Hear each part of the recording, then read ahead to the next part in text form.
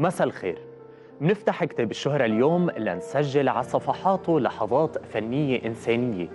فعند أي كارثة بتوقع بتتحرك دول وإسعافات ومعدات إنقاذ بس مدري للعين بتروح على الفنان والاستثمار بشهرته وبتصير تفحص إنسانيته ومدى تأثره وبتلاحق دمعته وكمان قدرته على العطاء. في فنانين أوقات بكلمة بيهزوا بلاد وضمائر وبتطلع مواقفهم بالصوت المجروح وبالعبارة اللي كأنها جاية من عمق الزلزال. الرأي العام بيتأثر فيهم وبيرصد تردداتهم وبيحكم على مدى تحولهم إلى فرق إنقاذ. منشوف فيهم لمسة إيد ودواء وصفائح إنسانية متحركة بس أوقات تانية منحطهم أو بيحطوا أنفسهم بموقع بهز البدن. هالحلقة أردناها مباشرة على الهواء. بعملية رصد إيجابي للفن وإمكانياته وقدرته على تحويل مسرحه وحفلاته ومواقفه إلى أرض عم تطلب الرحمة من ظلم الأرض. معكم بساعتين زمن لنطل على كل ثانية من ثواني الرعب ونحاول ناخدها على عيد من الحب. ورح ترافقني النجمة صفاء سلطان بتقديم هالحلقة الخاصة من كتاب الشهرة. مساء الخير علي. مساء الخير جميعا. مساء الرحمة والإنسانية. يلي بتمنى أن تكون لساتها عمرانة بقلوبنا. أنا اليوم جاية لكون صوت الوجع يلي بقلوبكن أنتو. صوت الناس اللي ما إلها صوت ولساتها عالقة تحت الأنقاض.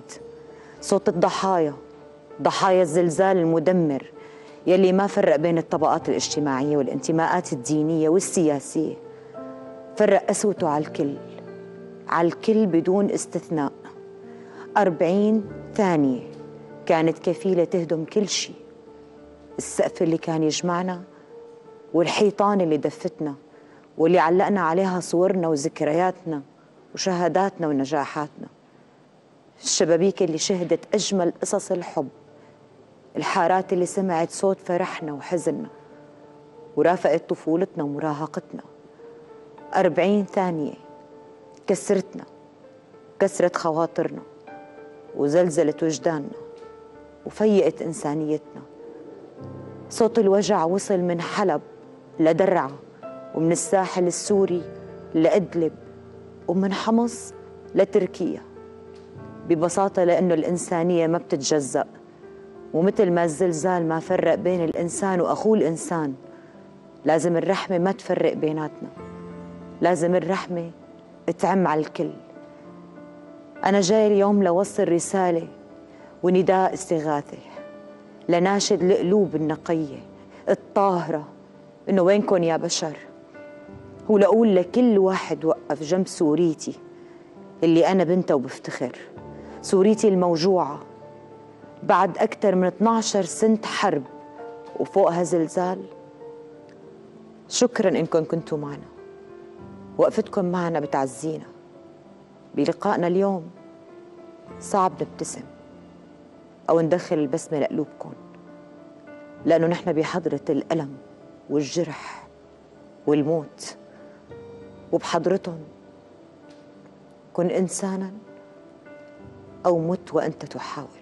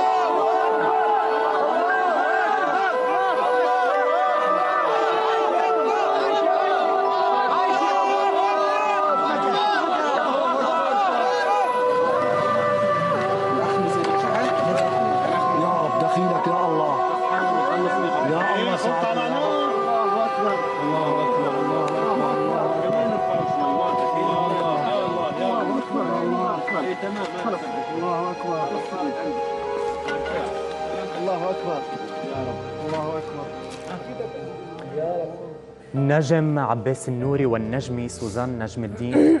دموعك غاليين سوزان بدنا نحاول قدر الإمكان نمسك حالنا أكيد. بهالحلقة لأنه بهالحلقة الخاصة من كتاب الشهرة بدنا نحاول قدر الإمكان نرفع صوت الإنسانية بوجه الوجع يلي بعدنا حاسينه من ست شباط لليوم.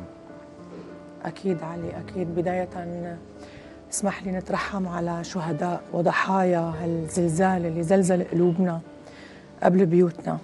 وأتمنى الشفاء العاجل للناس اللي نجت و... والله يعينا قديش بحاجة لتعافي وقديش بحاجة لنوقف جنبها وقديش بحاجة ل وقفة وقفة حقيقية معهم. بالفعل. أستاذ عباس أهلا وسهلا فيك مرة جديدة. بعرف كان في صعوبة بالوصول إلى لبنان بسبب تسكير الطرقات من الثلج ولكن أصريت إنك تكون معنا لنرفع هالصوت ونوجه النداء. نداء عباس النوري مع بداية هالحلقة الإنسانية. شو هو؟ لا هو أنا خليني أركز إذا في إلنا يعني أثر ممكن يكون لوجودنا. أنه الحالة الإعلامية قديش لازم تتسم بالبعد الإنساني والبشري بعيدا عن كل ما يغطى في سياساتها. بعيدا كل وسائل الإعلام.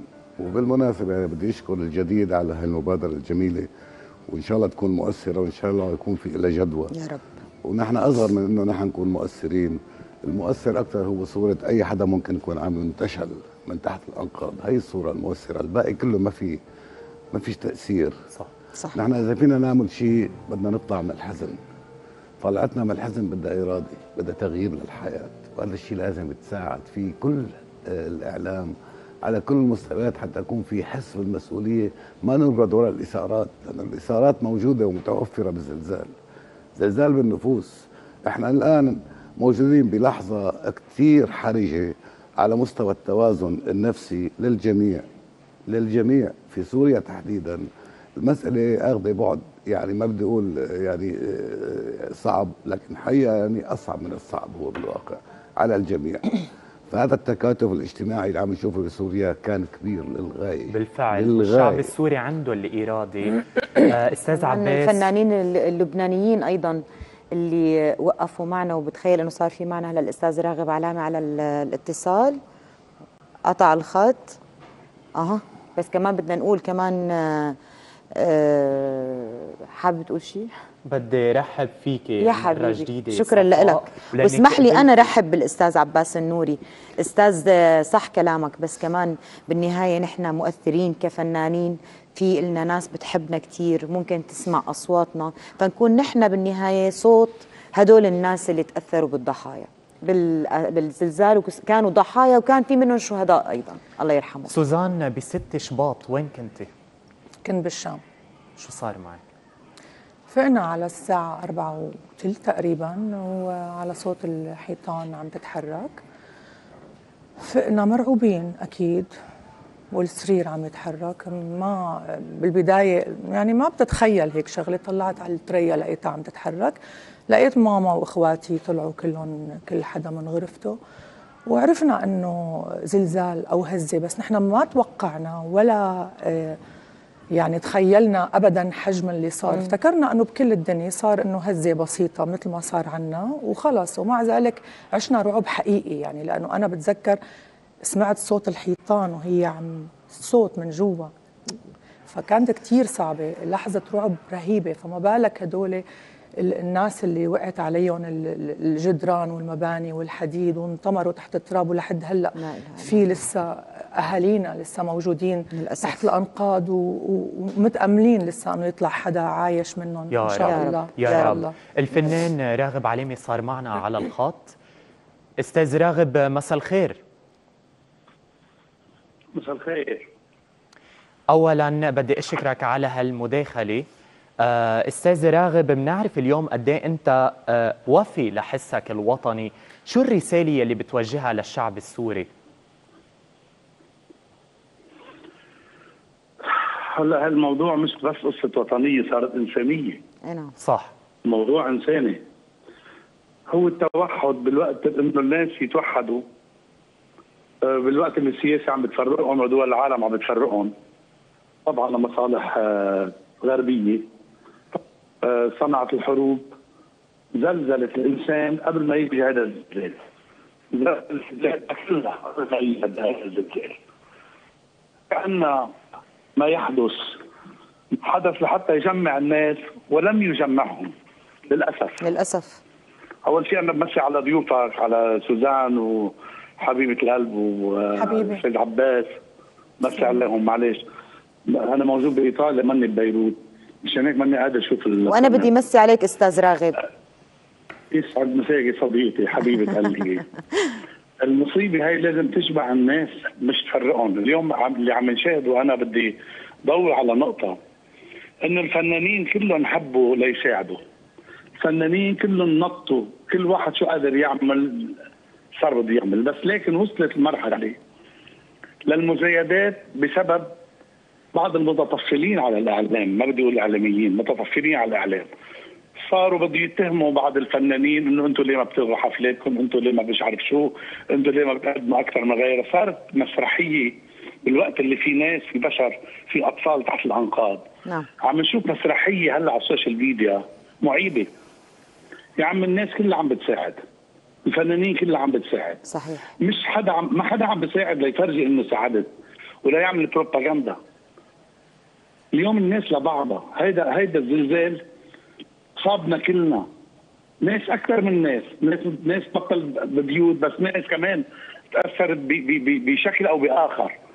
الرعب اللي عم بصير اليوم اللي عم نعيشه كلياتنا ببلادنا من وراء هذا الزلزال ما حدا بعيد عنه. نعم. بس فوقه بالسوشيال ميديا في مسرحية وسخة وكأنه القصد منها إنه انسوا هول ال- ال- الضحايا اللي نازلين انسوا هذا الزلزال وخليكم عم تتمشكلوا. ومين عم يستعملوا فيها؟ عم يستعملوا عم بيتوجهوا للفنانين. للأسف. بالوقت يمكن لأنه السياسيين ما عم بيساعدوا. وإنت طرحت هالسؤال أستاذ الفنانين راغب وكأنه الفنانين هن اللي عم كأنه الفنانين هن اللي عملوا الزلزال إذا بتلاحظ. عرفت كيف؟ صحيح. أنا بدعي كل الفنانين. أنا بدعي كل الفنانين. ما حدا يلغي الشغل لكن ما توقفوا المساعدة. لأنه إذا لغيتوا الشغل عندكم ولغيتوا حفلات ولغيتوا مش عارف شو ولغيتوا ت- آه، آه، آه، تصوير ولغيتوا أنتم ما راح ترجعوا اللي صار بالعكس لما بتشتغلوا بتقدروا تساعدوا. تقدروا تتبنوا أطفال. أنا يا ريت في اتبنى طفل أو اثنين أو ثلاثة من اللي صاروا بلا أهل. صحيح. وأنا بد يعني أنا عم بقولها عم بقولها بعنيها إني ممكن اتبنى أكثر من طفل اليوم. صحيح. الإنسانية عندهم؟ بالبيت. منك. بالأخص هدول الرضع اللي صاروا بلا أهل. وبدعي كمان فنانين كل حدا أنا بعرف انه الفنانين حيعملوا هالشيء وعم يعملوا هالشيء. وأستاذ راغب في فنانين عم يعملوا عم يعملوا وما عم بيقولوا أستاذ راغب. يعني في كثير من الفنانين وأنا بعرفهم كثير منيح إنه عم بيعملوا وما عم بيقولوا. وهذا الشيء فعليا مثل ما أنت عم تقول حضرتك إنه ما في داعي نلغي شغلنا كرمال إنه نحن آه، متعاطفين. نحن إنسانيتنا فوق آه، أي شيء. وإذا قدرانين نحن نساعد كفنانين فالمفترض انه نحن نساعد لأنه نحن بالنهاية الفنان يحمل رسالة. صحيح صحيح. بس أنت بتعرفي كمان اليوم نحن ياما ساعدنا وما حكينا دغري الاتهامات إنه أنتم ليه ما ساعد لازم نطلع ونفرجي وين؟ من بعض ال- المسمين حالهم إعلاميين أو إعلاميات لأنه في إعلامي حقيقي في إعلامي مزيف. نعم. مثل ما في فنان حقيقي وفنان مزيف.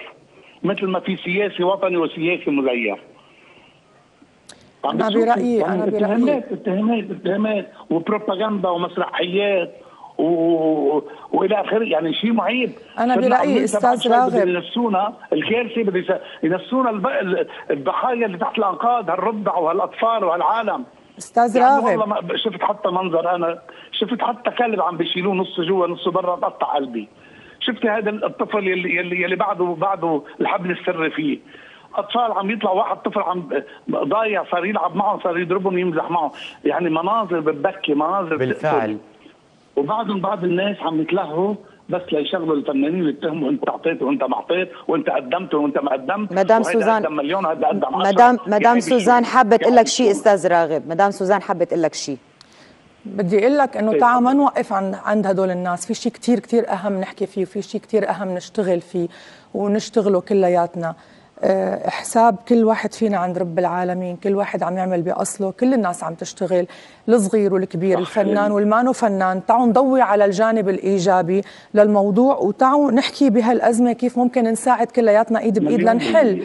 ولنساهم بالحل. وما أنا نحكي بهيدا الموضوع أنا- لأنه لأنه هن بدهم إيانا نحكي بهيدا الموضوع وعم يضيعوا لنا وقتنا صحيح. بشيء نحن. بكتير شيء أهم لازم أنا نحكي فيه ونشتغل ونشتغل أنا عليه لي وجهة نظر مختلفة أنا لي وجهة نظر مختلفة. حبيت بس أتطرق لهالموضوع لأقول للعالم إنه في ناس عم بيشوشوا على هذه المساعدات. ما بدهم الفنانين يساعدوا صحيح. في ناس عم بيشوشوا على موضوع الزلزال ليدلل الخلافات ويدلل العقوبات ال- المحاسبة وعم بكذبوها وعم بكذبوها والله يا أستاذ راغب عم اللي- نعم.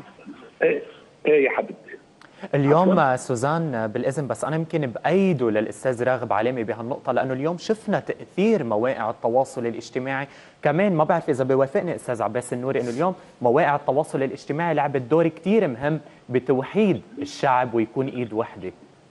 هو لازم نحن إذا بدنا ننظر لهذا الموضوع كنت عم بحكي فيه من البدايات لكن للأسف الاتصال أو قبل الاتصال صار نعم. في مقاطعه نحن بدنا نحكي على ال social media مثل ما تفضل فيه الأستاذ راغب. كل شيء عم بيصير. عم بيصير ما بدنا نقول ادعاءات أو في جدارات بالإعلام لا. ما حنا نناقش هالمسألة. نحن بنشوف وبنعرف نحن مين خرج نتعامل معه مين بيعرف يسمعنا مين بيعرف يفكر معنا مو يفكر ضدنا. النفس الضعيفة أكيد موجودة وانعدام الجدارة أكيد صحيح. موجود والناس المنتهزة صحيح. أكيد موجودة صحيح. لكن هدول بهذا الانفلات بهذا الفضاء الإلكتروني الغبي نعم. اللي عايش فوق راسنا إحنا كلياتنا للأسف. إحنا عم ندفع ثمنه بكل مين بتناول هي- هيك قصص مثل الآن إحنا ما في عندنا فساد بالدول العربية بحياتنا العربية بمجتمعاتنا العربية وقت بتضوي على الفساد بالطريقة اللي فيها نفس ضعيفة. نعم. أنت عم تكرس الفساد حتى بنفوس من يقرأك ومن يتابعك. أنت وقت تضوي على العكس معناتها أنت عم تلغي الفساد تماما. وهذا دورنا هون. ما فيك- إنه نضوي على العكس. أنا أنا أنا على قصدك. العكس أنا فهمان قصدك مدام سوزان آه، اللي آه، إنه الفكرة أستاذ راغب آه، عم بتقول مدام سوزان إحنا نضوي على الشيء الإيجابي لحتى ما نخليهم هن يسيطروا هذاك الجانب. يسيطروا الجانب علينا موجود يعني. في كل الأوقات وفي كل الأزمان بالفن وبالسياسة وفي كل مكان وفي كل المجتمعات. نعم، نعم. نحن واجبنا إنه نحن نضلنا عم نشتغل ونضوي على الجانب الإيجابي لحتى الجانب السلبي يلتغي لحاله. نعم نعم. أستاذ راغب علامي كلمة أخيرة بتوجهها بهالحلقة. بدي أقول شكرا لكل الناس اللي ساعدوا. نعم. شكرا لكل الناس اللي أضافوا الخير. و- وحطوا إيدهم بايد بعض للخير. أكيد. وبدي أقول هيدي إرادة ربنا اللي صار ما حدا له فيها ما حدا بيقدر يعمل شيء. عندنا شغلة واحدة نعملها إنه نساعد ونساعد ونساعد. وتحياتي للفنانين الموجودين معكم الأستاذ عباس ست سوزان. شكرا لكم الجديد على آه على هيدي الطلة وعلى هيدي الإضاءة لأنه هيدي شغلة حقيقة بتبين كثير أمور. شكرا أستاذ. راغب شكراً. الله شكرا. الخير. يعني دقنا نحن دقنا اللوعات صرنا عشرات سنين عم ندوق اللوعات صحيح. ومؤامرات. وما في إلا الشعوب هي اللي عم تتعذب شكرا يعني لو... حتى لما بيعملوا عقوبات على بلد بيعملوا عقوبات على الناس مش على ال- صحيح. صحيح. مش على ال- اللي عندهم مشاكل معهم حقيقة صحيح. حقيقة شكرا على وقفتك الدائمة معنا مع سوريا ورح نحكي عن هالموضوع قلبك, دا قلبك. دائما شكرا سوري. لك أستاذ راغب منر... والعودة لك أستاذ عباس أستاذ عباس أنت بنتك ساكنة معك بنفس البناية وعندك أربع أحفاد الله يخلي لك إياهم كيف عشت هاللحظة المرعبة هلا يعني هي لحظة مرقت لأنه إجت على وقت آه، تقريبا مثل آه، على الفجر. آه، بالصدفة أنا كنت سهران يعني ما بدي أقعد أحكي ضوي على هيك قصة لأنه أنا أصغر من إني أحكي على في مصائب في العالم يعني. بطبيعة الحال هي حالة هلع حالة خوف. ذعر حالة خوف حالة ترقب لأي شيء عم بيحدث أنت مالك فهمانه؟ هي مرقت هالثواني الحقيقة بس لكن صار في أكثر من حل ممكن تفكر فيه لتطلع أنت بهالبرد الشديد. وشو بدك تاخذ معك؟ وشو بدك تعمل؟ شو انت بدك بتعرفي إمتى. إمتى كيف اللحظة بدك صارت؟ تطلع؟ كيف بدك تأمن أحفادك؟ كيف بدك تأمن من الطابق إيه. ال- ال- الأخير لتنزل وأنا بالأرض. عندي هيك حديقة صغيرة. يعني كانت صعبة الحقيقة لكن هي بالنسبة لي انقضت. بس وقت سمعت بالقصص فيما بعد وعرفت إنه المساله, المسألة كبيرة جدا خاصة في في الشمال السوري في حلب وفي إدلب. بالساحل اللاذقية ساحل في جبلة. اللاذقية نعم. وجبلة وغيره الحقيقة في في في في كوارث. أمكنة بحد ذاتها كوارث. كوارث حقيقية يعني لكن بس بدي أقول شغلة يعني على الكلام اللي تفضل. فيه الأستاذ راغب علامة إنه أنت بالأخير وقت تحكي على ال social media وعلى الناس المؤثرة بطريقة سلبية وهدول فاسدين وفي فاسدين حتى بمناصب وبأمكنة هدول لابد من مواجهتهم إحنا كلياتنا بالأخير يعني أنت وقت تقدر تقنع الدبان الذباب انه الورده أفضل من الزباله ساعتها فيك تقنع الفاسد وأصحاب النفوس الضعيفة أنه الوطن أغلى من المال وهدول موجودين في كل. مكان وفي كل زمان يعني ما بدنا ما بدنا صح. نحن ننشغل عن الأشياء الأساسية فيهم فخلونا نقلب الموضوع ما أنا أنا فهمانة عليكي شو قصدك بالضبط وحابة إنك أنت تضوي على الشيء المنيح اللي عم بيصير خلينا نبعد عن وعلى الحلول ونحكي بهي الأزمة نحكي عن- الكبيرة عن كيف فينا نساعد. شو فينا نعمل شو فينا نساوي كلنا مع بعض. والمشكلة إنه شو ما عمل الفنان؟ الاتهامات؟ بتلحقه يعني انت من كم يوم أنا شفت حضرتك آه، حتى شاركت الفيديو آه، اللي كنت عم تعمليه اللي هي محاولة مساعدة ال- ال- الناس المتضررة بجمع التبرعات آه، سواء منك شخصيا أو من الناس اللي ردت على على سوزان. أنا ما بعرف آه، آه، إنه نحن لما عم نحاول نعمل هي الشغلة كفنانين لأنه نحن محملين بثقة الناس. يمكن نحن موثوقين عند الناس أكثر من أي جهة أخرى ما بدي اسمي أي جهة في العالم. نحن كناس وبشر موثوق فينا. هي الاتهامات يلي بتلاحقنا. ممكن هيك تحكي لي شوي عنها؟ يعني إنه أنا هي حلتها هي أنا هي الاتهامات ورا ظهري طول عمري. وما بطلع على هيك شيء. دائما وراي طلع لقدام مو لورا. أنا بشتغل والناس بتحكي. المهم ضلني عم بشتغل. المهم أنا شو عم بعمل شو عم قدم اللي بيفهم منيح ما بتزعجك ابدا. بتوافق. صدقيني ابدا. اللي بيفهم الصح يفهم واللي ما بيفهم مثل ما قال أستاذ عباس إذا فيك تقنعي الذبابة إنه هي أحسن. ما حت ما حتقدري. تغيري المجتمع. هي الفئة موجودة وهي الفئة موجودة. أنا لمين بدي أنا لمين رسالتي؟ لهي الفئة الصغيرة اللي عم تحكي وعم تنم وعم تخليني التهي فيها مثل ما هلأ نحن ملتهيين فيهم؟ لا. أنا مو هدول هدفي ابدا. أكيد أكيد أكيد وأنا شفت هذا الشيء. شوف مثلا أنت بتحكي قديش في مستوى من الحزن عالي جدا لكن مقابله في مستوى عالي جدا من الوجدان مقابله الوجدان في إرادة للحياة. وهذا اللي شفناه. بسوريا وانت بتحكي بسوريا خذ الخريطة وقفها وقفها هيك جنبك بتشوف قديش مر عليها أكثر من عشر سنوات حرب ودم. 12 سنة. بعيدا عن السياسات وكيف انهدر هذا الدم وكيف راح هذا الدم وكيف ناس شهداء من هذا الطرف أو من هذا الطرف بغض النظر عن كل شيء. أنا بشوف من النص بالمكان المحايد اللي بقدر أشوف فيه 180 حسب ما بتتسع عيني. هيك أنا بعرف شوف البلد هيك بعرف شوف الناس هيك بعرف شوف وطني. بعد كل هذا الشيء اللي صار وكل هذا الاحتراب وكل هذا الاقتتال وكل هذا الدم وكل هذه الخسائر وكل هذا الانقسامات الاجتماعية وصلنا للزلزال. إن شاء الله يكون خاتمة. إن شاء الله حتى يعني. نقدر يكون عندنا. إرادة نغير. ممكن يكون سبب. مو. نعيش نغير. نغير. ممكن يكون سبب. هلا ممكن كان يكون- سبب كتير عظيم إنه نحن آه، دخلت لعنا طائرات. قد إيه لما حطت بالمطار مطار دمشق الدولي؟ هذا بيودينا ل ل لوقف العقوبات ل 180 يوم آه، فقط. بيودينا لهذا الموضوع ونحن طبعا بدنا نشكر كلياتنا الشعب السوري بدنا نشكر أكيد. كل الناس اللي وقفوا معنا كل الدول كل الدول. طبعاً. العربية صح. طبعاً. والغربية وكل إنسان قدم ولو كلمة ولو دعاء لسوريا بدنا نشكر الكل يعني حتى ولكن تفضلي سوزان ولكن آه، موضوع آه، وقف العقوبات 180 يوم فقط هذا الشيء حلو ولكن هو بداية وأمنية أنه يكون دائم لأنه مثل ما قال الأستاذ عباس نحن 12 سنة زلزال جواتنا زلزلنا من جوا زلزلت. الأرض من تحتنا انفجر الشيء اللي. عم نعم. نعيشه أكبر بكتير من هذا الزلزال نعم. لأنه نفوسنا انهزت خلوا خلوا الشعب السوري يحكي بال بالأكل وبالشرب وبال وبالاحتياجات البسيطة يلي موجودة عند كل الناس بينما الشعب السوري هو شعب حر شعب له تاريخ شعب عنده حضارة شعب نعم. عنده كرامة شعب نعم. عنده شهامة نعم شعب حي مبدع. فخلونا كلنا نفكر بصغائر الأمور. يعني فنحن بنناشد أنا من هذا المكان المهم بناشد الدول العربية والحكومات وأصحاب القرار بأنه يضموا صوتهم لصوتنا بأنه وقف العقوبات على العقوبات سوريا. والحصار أه. بشكل دائم. لأنه بكفي الشعب السوري بكفينا. معنا معنا كمان هلا. ديما. بياعه بتخيل صارت معنا على على الهواء. ديما مساء الخير. مثل نور هاي كيفكم؟ ديما يعني لو قادرين نجمع كل نجوم سوريا بهالحلقة يا ريت. يعني على قدر الإمكان عم نتلقى اتصالات من نجوم متضامنين عم بدهم يرفعوا صوت الإنسانية آه، بهالحلقة. وديما أنت كنتي من النجمات يلي ساكنين برات سوريا وقدرتي تجمعي تبرعات بالإمارات. صح. قد إيه لافتة؟ خليني، آه،. أعزي الشعب السوري كلهم. بالشيء اللي صار طبعا هي كارثة حقيقية.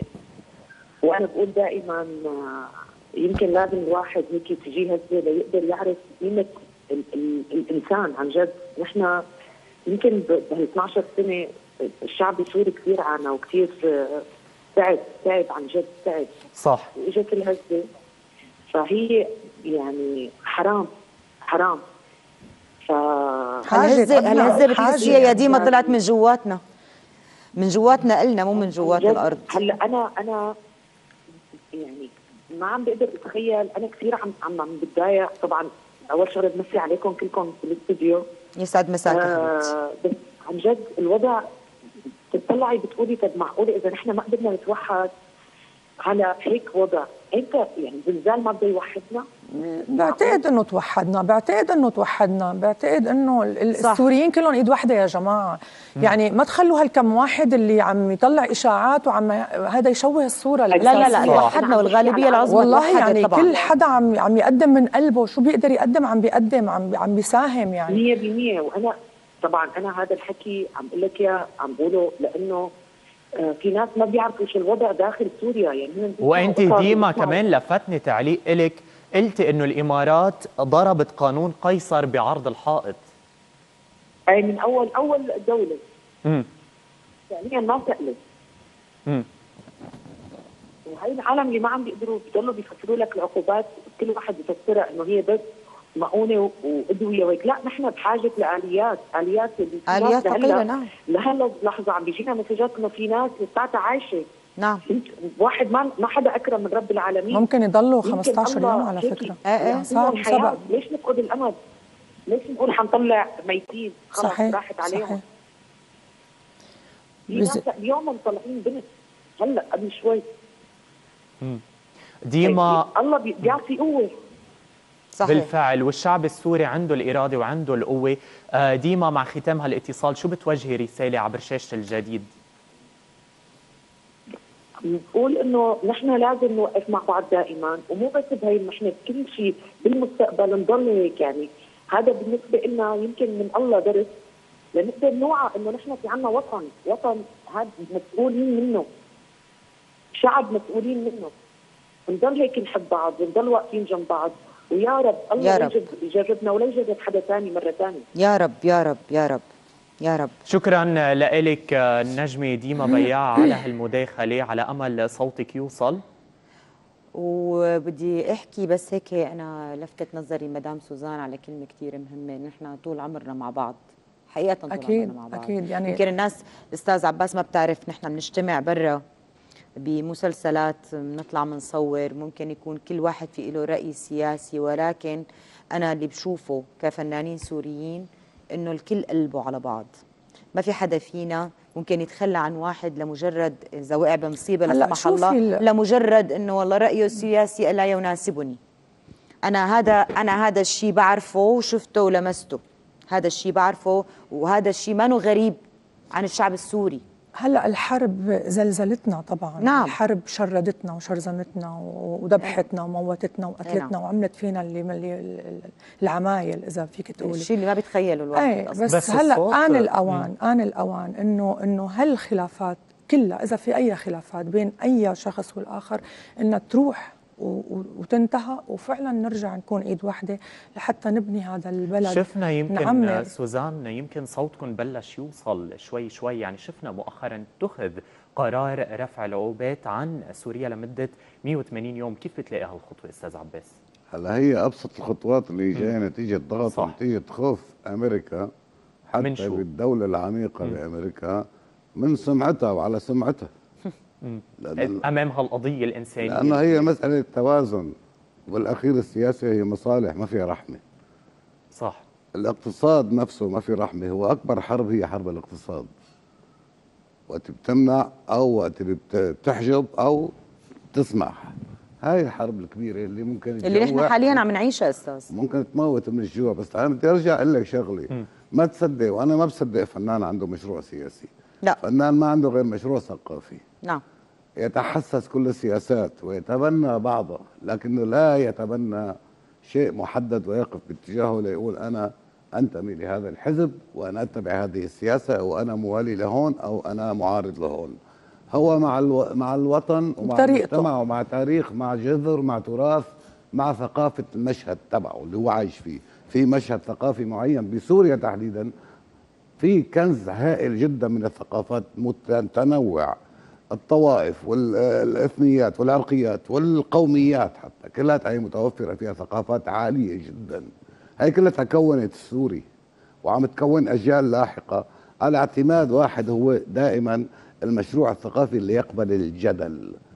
هذا لازم يفرز حالة سياسية تقبل الحوار. تقبل أن يكون هناك حياة سياسية. إحنا بدنا نخلص من هذا الجهل اللي ممكن فيه على سبيل أستاذ المثال أستاذ بضاعة- عباس أنت بحلقتك مع ال- مع الأستاذ علي كمان كنت عم تحكي عن هذا تطرق الموضوع. لهالموضوع صح.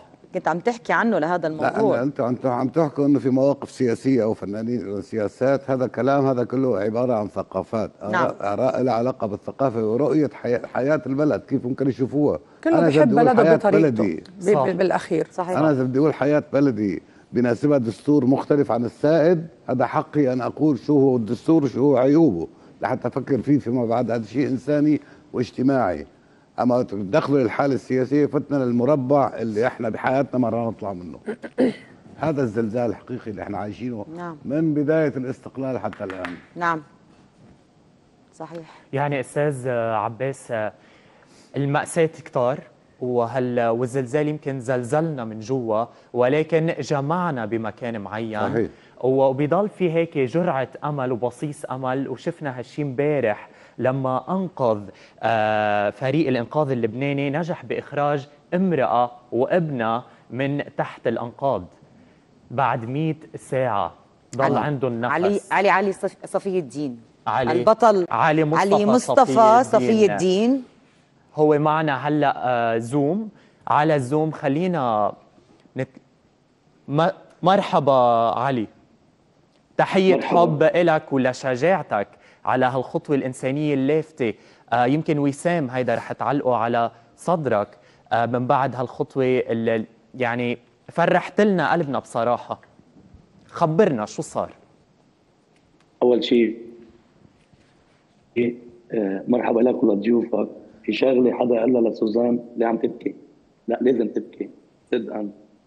لأنه آه، المشهد اللي شفناه نحن مشهد مبكي والوضع كان آه، أصعب مكان أصعب بكثير من اللي عم نحكيه آه، الله يرحم مين عم بيحكي عليه؟ بالبداية.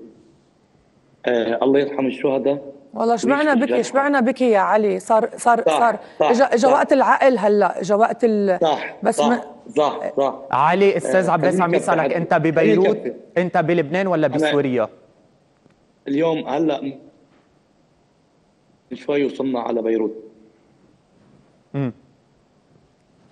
أوكي. تفضل.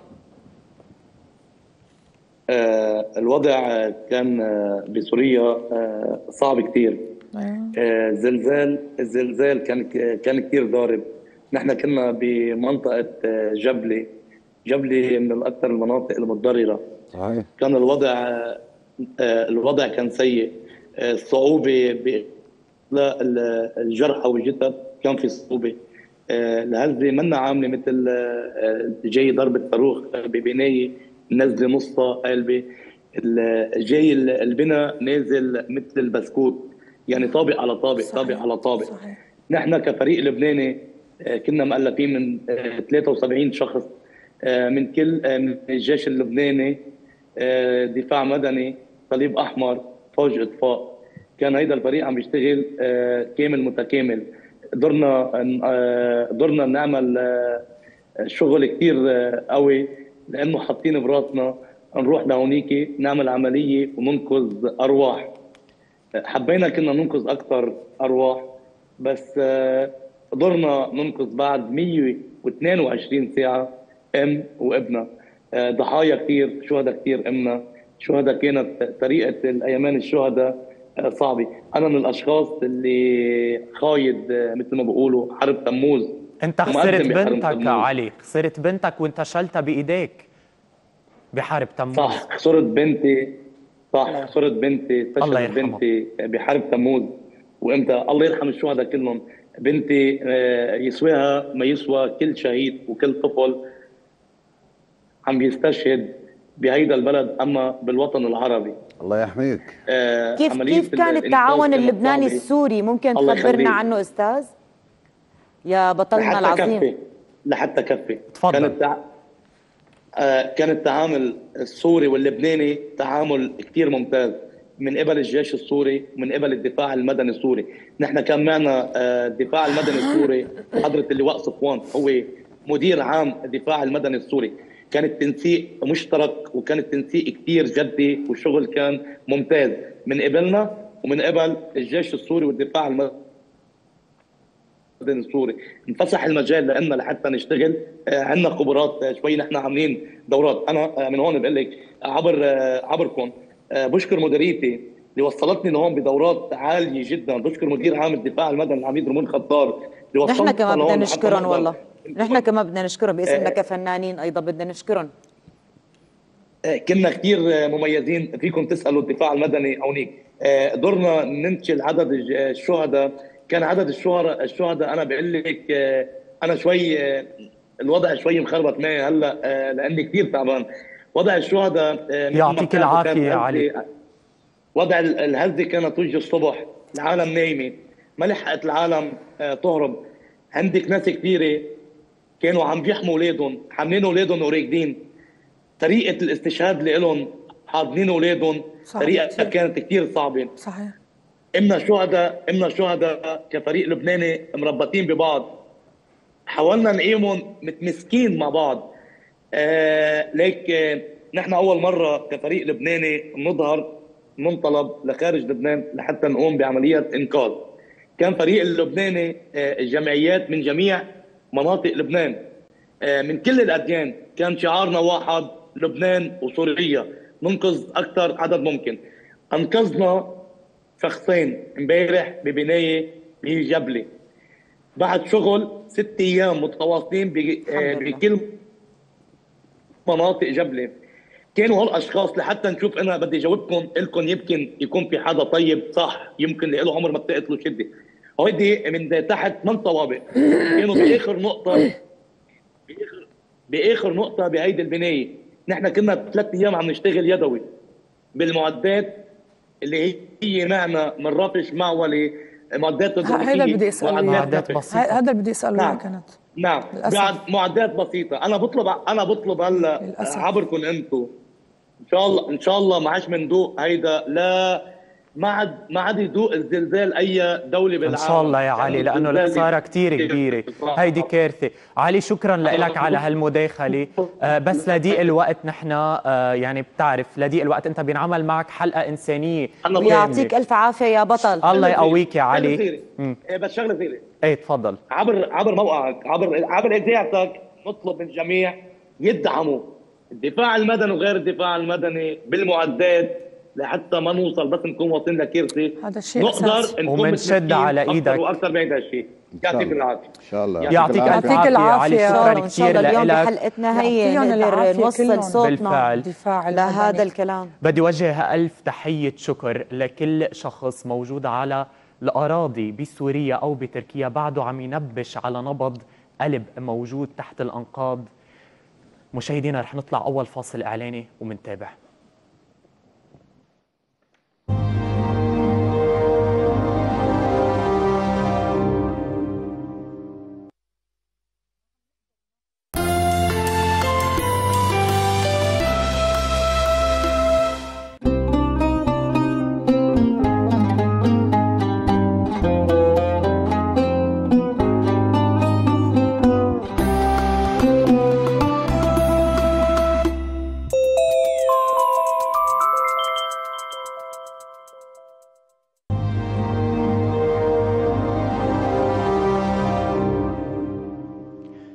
مكفيين معكم مشاهدينا هالحلقة الخاصة من كتاب الشهرة على أمل صوت الإنسانية يوصل ورح نحاول نرفعه قدر الإمكان بوجود النجمين الأستاذ عباس النوري والنجمة سوزان نجم الدين إلى جانب الاتصالات يلي عم نتلقاها من نجوم من مختلف أنحاء العالم العربي. اسمح لي علي بدي ضوي على على شغلة وموقف صار اللي هن طلاب درعا اللي موجودين بحلب. انبعت لهم باصات لحتى إيه، لأنه المنطقة كثير خطرة لحتى يطلعوا منها ويرجعوا على بيوتهم وهن رفضوا وتطوعوا وساعدوا هذا هو الشعب السوري بتلاقيه هذا اللي بدي أقول لك بتلاقيه بالمحن. هذا هذا نحن. يعني هذا هذا هن يعني الأصالة هن بتطلع. السوريين. الأصالة يعني بتطلع وقت اللازم تطلع. الأصيل بيطلع. هون هون بدك تشوفي الإنسان معدنه. صحيح. هون ببين معدنه. صحيح. هلا انت سوزان لما صار هيك وخلصت القصة يعني وقفت الهزة شفتي الدمار والقصص هي؟ أنا هون خفت بشكل حقيقي. بتصور كل السوريين خافوا لما نحن شفنا حجم الدمار الكبير وحجم الكوارث والحقيقة مو دغري فقنا عليها. يعني يوم عن يوم كنا عم نكتشف إنه إنه الكارثة كثير كبيرة. ما كنا عم نستوعب. عم نستوعب. حتى حتى يعني كنت بدي أروح دغري على اللاذقية بدي روح طب كيف بدي أروح شو بدي أعمل؟ بدي أجمع تبرعات بدي أجمع مساعدات. قعدنا اشتغلنا نحن وناس كثير وأمنا وزبطنا وكذا. الحمد لله رب العالمين. بس بس يعني حجم الكارثة كان كبير. وثاني يوم ما بتخيل تخيل حدا من السوريين نام لأنه كلياتنا خفنا على أساس في زلزال ثاني فصرنا نطلع بالسقف طول الوقت قاعدين ناطرين الزلزال حيصير ولا لا. ناطرين رغم إنه أنا أنا ك ك ك كدراسة وكمهندسة بعرف مهندسة معماريه بعرف كيف بتصير الزلازل وبعرف إنه إنه إلى حد ما يعني إنه الترددات تبعها بتكون أخف وإلى آخره. ولكن آه، الرعب اللحظة اللي عشناها لما شفتي الكوارث تبعها بهاللحظة هي كان ممكن تكوني انت فيها. ولما بتحسي بكل واحد هنيك يعني فقد ابنه أو فقد أبوه أو فقد عيلته كمان انت بتحسي هذا الشيء كأنك انت موجودة شبح الموت كأنه موجود حوالينا يعني بكل مكان. هدول أهلك يعني إخواتك ناسك بدك تحسي وتعيشي نفس الإحساس تبعهم. طبعا ما حنقدر نوصل للإحساس تبعهم ولكن أكيد. الألم كتير كبير والحزن كتير كبير. بس أنا بعد إذنك على سيرة التبرعات أنا بدي أسألك سوزان يعني أنا بعرف لأنه دايما على تواصل أنا وأنت آه أنت تبرعتي بكتير قصص ولكن ما أعلنتي عن الرقم على مواقع التواصل الاجتماعي يمكن مع مثل ما عمل البعض من النجوم أو ما سربت هالمعلومة. ليه ما أعلنتي عن الرقم؟ أنا ما كان بيهمني الرقم بيهمني اني اكون موجودة بكذا مكان واني ساعد على أرض الواقع وسلمت بالإيد فعلا. وأنا اشتغلت مع كذا حملة الحمد لله. ومع ناس كثير نحن فقدنا ناس كثير أصدقاء لنا وأخوات لنا بجبلة وباللاذقيه وبحلب كمان. فكنا على تواصل مباشر معهم. وكنا ملتهيين فيهم كيف فينا نساعدهم كيف فينا شو فينا نبعت شو فينا نعمل. فكان أبعد شيء إني أفكر فيه إني أعلن أو أقول رقم أو كان آخر همي هذا الموضوع لأنه الأهم هو إنه كيف تقدر تساعد كيف تقدر تفيق من هالصدمة لتقدر تتوازن لتقدر عواطفك تحط عواطفك هي اللي عم تمشيك لتقدر تحط لا بنفس الوقت بدك تشيل العاطفة هون. إيه عقلك عم بيتحكم بعواطفك باتجاه الخدمة. بالضبط. وليس باتجاه إنه أنا بدي يعني شوف آخر همي شو بدهم يقولوا عني. مثلي. يعني لا هم هن المفترض أنا برأيي ما في داعي نعمل لنكون قدوة. المفروض الكل يعمل ما هو الكل عم يعمل. الكل عم وانت سوزان كمان يعني فتحتي بيت والدك الله يرحمه. الله يرحمه. مساحته كثير كبيرة حسب معرفة 600 آه، متر, متر مربع. متر مربع. فتحتيه ورجعتي آه، قعدتي تاهيله كرمال آه تتبني عيال انأذوا من هالكارثة. والله مو بس أنا فتحت بيتي يعني دريكيش كلها فتحت بيوتها وجاهزين لاستقبالهم. حتى الدكاترة يعني عملنا فريق طبي وجهزنا البيت بشكل كامل والكل نعم. مستعد انه يعطيك ألف عافية سوزان. حلوة المبادره الإنسانية. بس بمناسبة المساعدات أنا حابة بعد اذنكم أقول شغلة.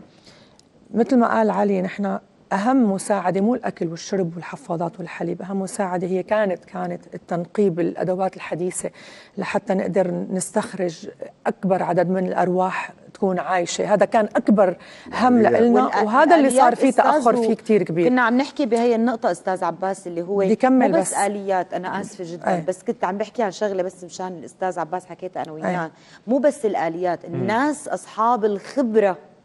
بالعمل بهي الآليات. يعني تحكي سوزان عنهم. تمام تمام. هون بدي بدي انطلق ل... ل... لشيء أنا جاية من من- مشان عدة رسائل نقولها هون. واحدة منهم هي الرسالة إنه نحن مشكورين كل الدول العربية والعالمية وكل الناس اللي ساعدوا سوريا ولكن نحن بحاجة لمساعدات على مدى طويل جدا سنوات قادمة. مو توقف المساعدات بس يوقف الزلزال هي مرحلة مؤقتة ولكن 180 يوم. نحن لا نحن عنا مو بس عنا بناء البشر وبناء الحجر الناس. اللي اهتزت من جوا هزتها الداخلية أعنف بكتير من هزة الحجر صح، صح الحجر فيك. تبنيه بس هيدا البشر بده علاج بده تأهيل إعادة تأهيل بده وهو عم ينبنى بيته عم يشوف بيته كمان في أطباء عم تبني له نفسيته فنحن صح. بحاجة من كل الدول وقفة حقيقية معنا لمدى سنوات طويلة قادمة لحتى نرجع نبني البلد من جديد نعم. وناخذ هدول الناس لبر الأمان ن- ن- ن- بس نحس صح. أنهم استقروا بمكانهم واستقروا نفسيا بعدين يوقفوا مساعدات. أستاذ عباس آه، شفنا انتقادات كثيرة وتسريب معلومات على أنه بعض الجمعيات مفبركة عم تتلقى تبرعات ولكن هالجمعيات منا حقيقية. شفنا هالموضوع على مواقع التواصل الاجتماعي. شو تعليقك على هالنقطة؟ مواقع التواصل الاجتماعي هذا كلام مباح وفلتان.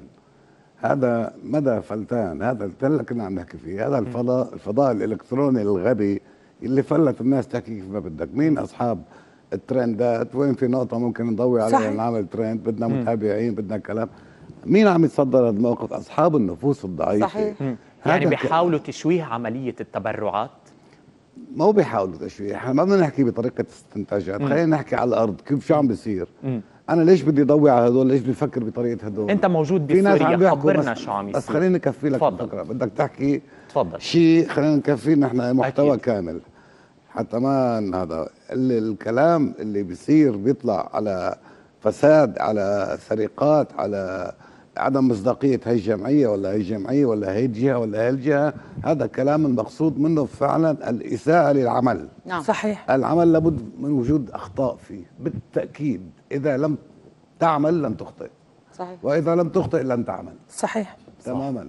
أنا ضد الدخول بالتفاصيل كلها بشكل عام لكن هذا الكلام أنا ما بوقف عنده. خلينا نفكر بالناس اللي فعلا عم تقدم بالناس اللي فعلا عم تأثر بالناس إيه. اللي عم تروح ل... لمحل عم تساوي شيء. صحيح. أنا شو بهالسبت إني عم اتفرج على زلزال؟ شوف زلزال آخر؟ هذا زلزال من نوع آخر قائم على تهديم النفوس بغباء وليس بتخطيط. نعم. بغباء شديد جدا. كيف فينا نواسيهم هدول الناس أستاذ؟ ما فيك تعملي شيء معهم. هدول لازم أنت يعني تطيحي فيهم على جنب. فكري بس بشيء وحيد إنك فيك تحكي فيه وتعمليه وبس. أنا ما فيني. فوت تفاصيل بدهم هلأ. إعادة تأهيل يا جماعة. بدهم تأهيل. أستاذ. بدهم إعادة تأهيل. بدهم تأهيل. نعمل؟ بدهم إعادة تأهيل. بدهم استراتيجية. لحظة. نحن كلنا انصدمنا. نعم. حتى الدولة كلياتنا انصدمنا. مفروض يكون في خطط استراتيجية لتبني هدول الناس من جوا ترجع تأهلهم من جديد وهي عم تبني لهم بيوتهم. ما هذا الشيء اللي كنا عم نحكي فيه من شوي. نعم. لازم إعادة تأهيل لهم وإلا هدول الناس تدمرت. يعني اللي فقد ابنه ولا أبوه ولا أخته ولا يعني يعني شيء مرعب رهاب خوف. كيف بدهم يكملوا حياتهم إذا ما كان في دكاترة وإعادة تأهيل ومستشفيات واهتمام عاطفي وصحي ونفسي و- أيضاً. ومادي ونفسي ومن كل النواحي بدك تعيدي تأهيلهم. بالإضافة إنه بدك تبني لهم بيوتهم بهالشغلتين بالتوازن لهم سوزان؟ شو بدي أقول لهم؟ شو بدي أقول لهم؟ شو ما بقول يعني؟ هيك سوزان نجم الدين شو ممكن تقول لهم؟ أستاذ عباس شو ممكن يقول لهم؟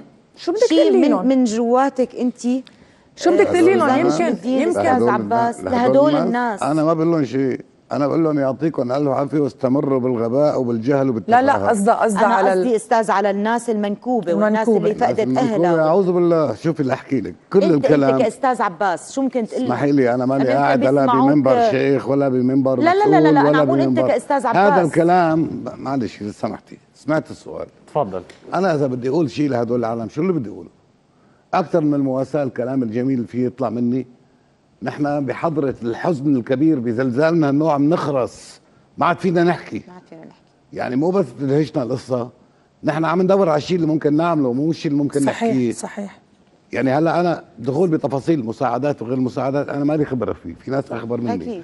واكيد اصحاب الاختصاص بيعرفوا يحكوا باختصاصهم بهذا الموضوع من كل. المستويات الطبية واللوجستية في العمل الإنقاذي و و و إلى آخره غير حجم التبرعات نعم. الشيء المستوى الشعبي اللي حكينا فيه اللي هو صار يعني هذا مدعاة فعلا للفخر بيكون هذا التكافل الاجتماعي الغريزي اللي طلع بين الناس أنا ما في يعني كمان أنا بمطرح فيني أحكي فيه بهذا الموضوع أي شيء مثل الوعد الوعد ما له صوت يا صفاء إذا انكسر ما له صوت ما له بريق ما له زجاج الوعد من تصدق بس إذا انكسر بيألم كثير صحيح.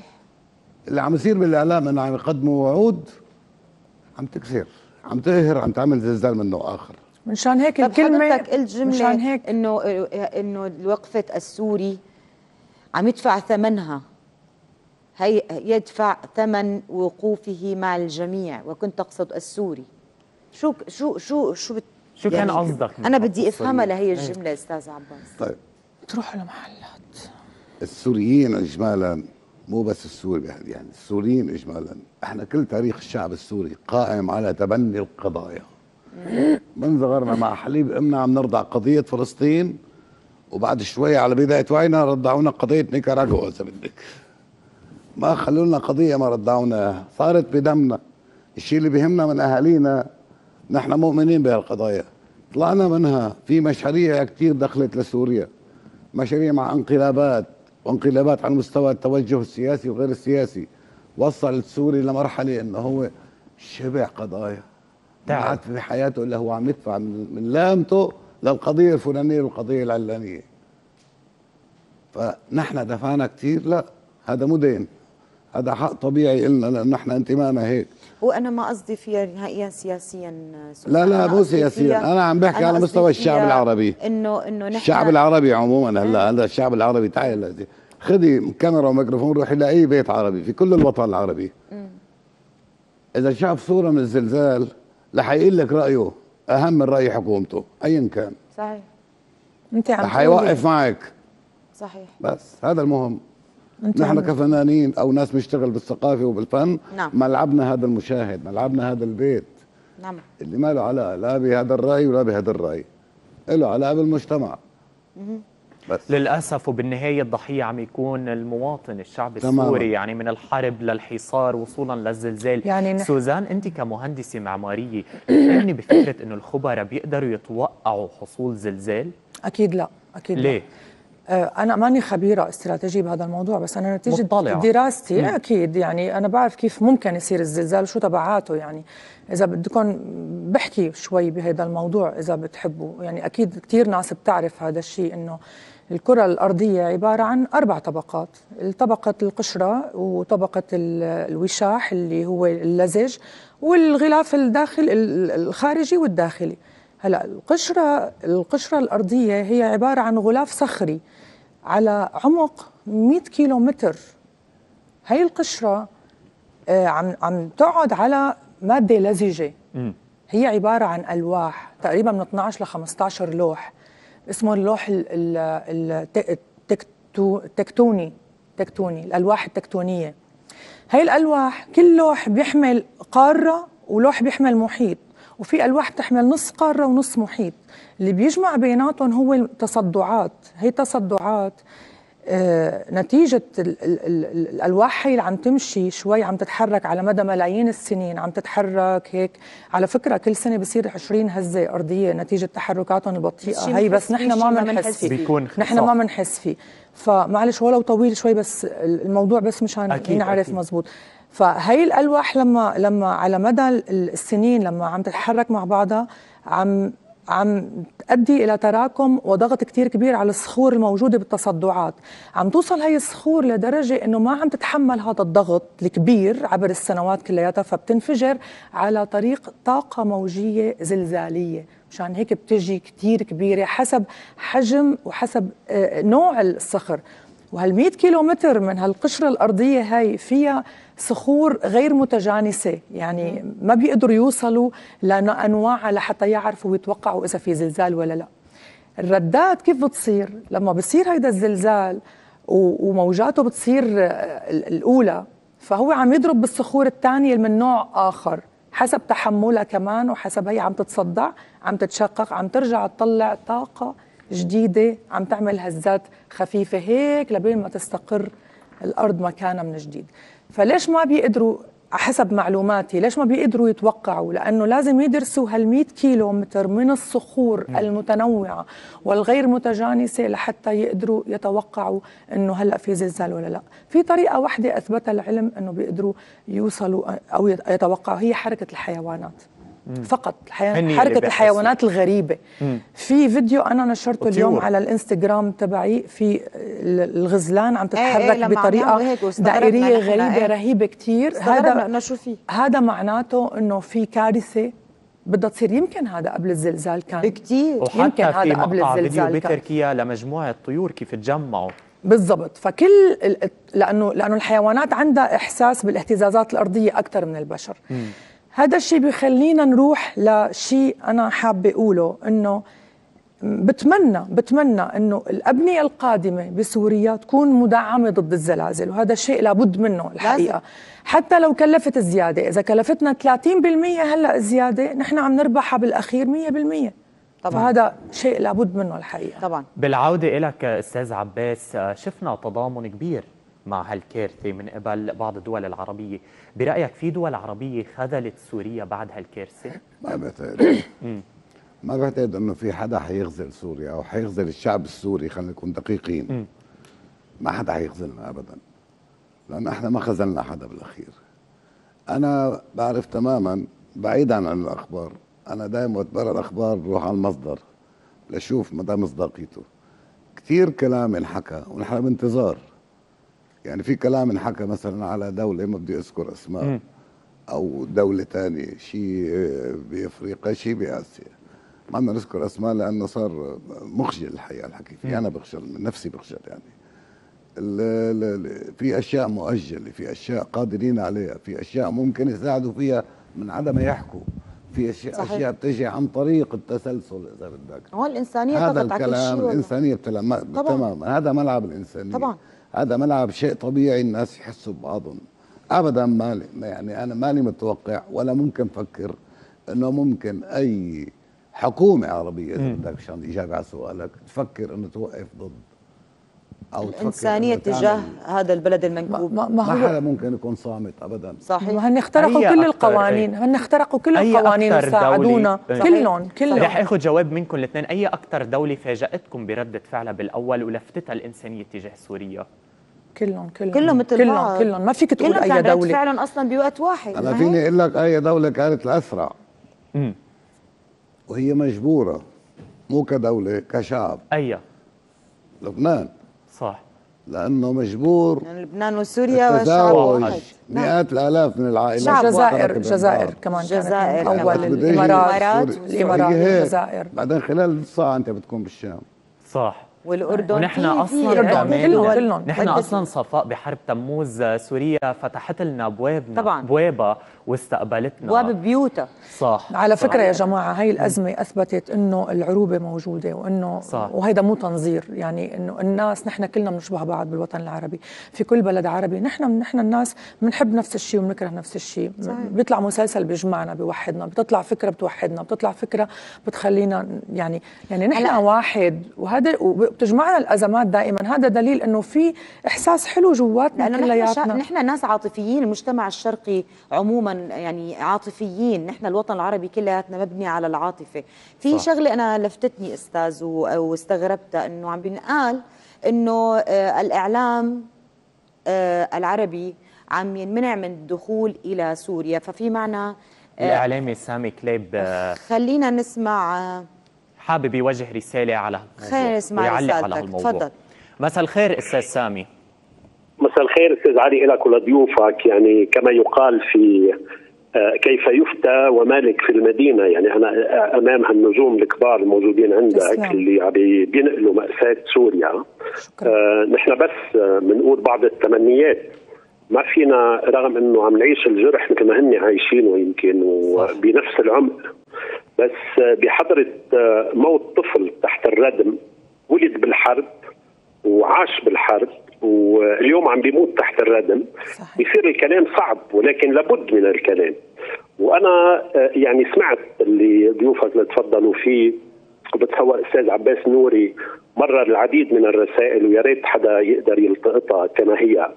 ولكن آه عم نحكي عن موضوع الإعلام، يعني نحن في صار له أيام الإعلام العربي بشكل عام والإعلام السوري على وجه الخصوص عم يرفع الصوت إنه ارفعوا الحظر عن سوريا وهذا حصار جائر، وفعلا جائر لأنه كل الحصارات بالعالم آه أدت إلى موت الأطفال وإلى قتل الأبرياء. بينما من يستهدف بالحصار من قبل الدول التي تحاصر اللي هي تعتبر إنه الدولة أو النظام إلى ذلك بالنهاية آه، يعني مش هو اللي عم بيموت هو اللي عم بيموت الشعب وعم بيموتوا الناس وعم بيموتوا الأبرياء وعم بيموتوا النساء وعم بيموتوا الأطفال نعم. جون زيجلر الكاتب المقرر الأمم المتحدة السابق والنزيه والأصيل عمل كتاب عن نصف مليون طفل قتلوا في العراق بسبب الحصار. صحيح. فهيدي الدول ما عندها قلب بس تحاصر ولكن خلينا كمان نرفع الحصار عن الإعلام. يعني ما بيجوز إنه أنا صار لي آه، يعني على الأقل أسبوع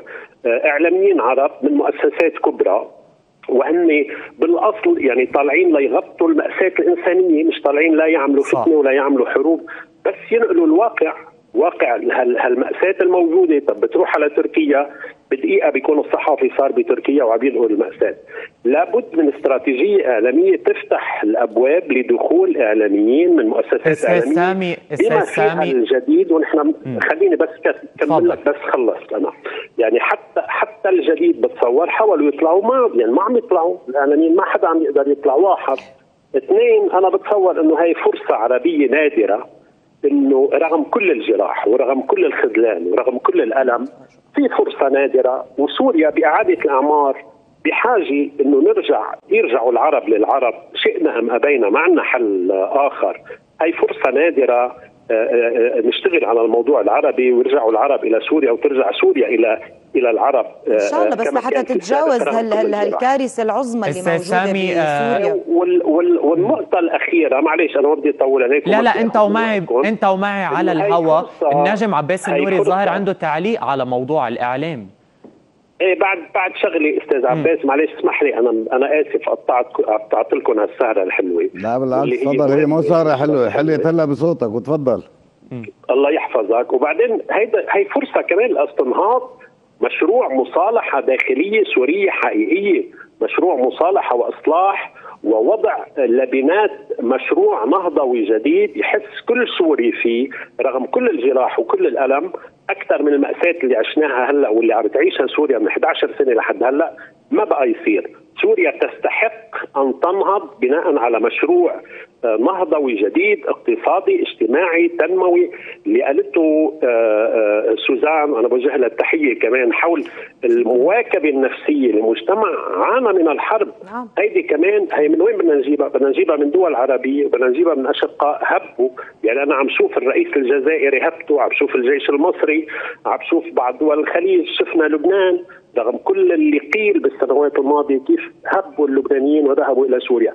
أنا بقول هي لحظة تاريخية من المأساة تنبت الحلول ولا بد من طرح حلول جدية هاي المرة صحيح. انطلاقا من هاي المأساة اللي بتمنى أنه تكون آخر مآسي سوريا لأنه آمين. سوريا الحضارة والتاريخ وأعرق المدن المأهولة بالتاريخ تستاهل أكثر من هيك بكثير. شكرا لك أستاذ سامي أستاذ سامي على هالمداخلة.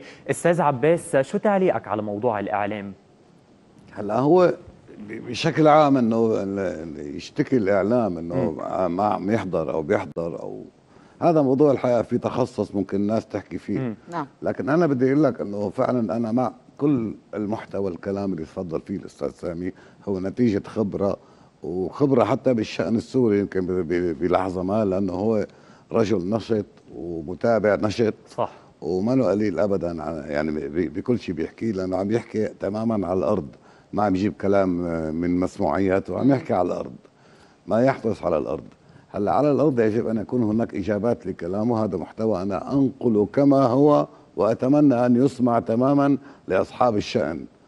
أنا مع أن يكون هناك تماما مواكبة إعلامية على مستوى كبير صحيح. جدا. حتى نحقق فعلا 100% تغطية حقيقية ليس على مستوى الإعلام وال... ومثل بيقولوا نشر الصور الكوارث. بس يعني للأسف الناس عم تشوف الكارثة والزلزال بس على التلفزيون. إيه إيه إيه بس للأسف أستاذ عباس أنا اللي اللي اللي بعرفه حقيقة معلومة أنا سمعت عنها إنه عم بيصير في خلط بهذا الموضوع. يعني عم بيكون في حدا من قناة فعلا هن الناس داخلة لحتى تغطي الحدث لحتى تغطي شو عم بيصير آه، الإنقاذ آه، مين موجود مين مو موجود التكاتف اللي موجود.